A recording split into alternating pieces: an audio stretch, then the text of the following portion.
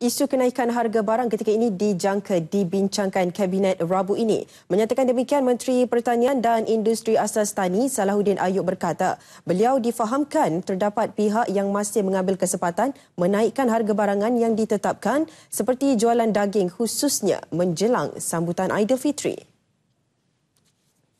Tapi saya rasa uh, apa yang perlu kita buat kajian adalah takut ada sabotaj takut ada sabotaj bagaimana yang saya difahamkan Fama contohnya kalau daging uh, tempatan Fama memberikan apa memberikan keizinan atau recommendation harga ini 30 hingga 33 ringgit satu kilo.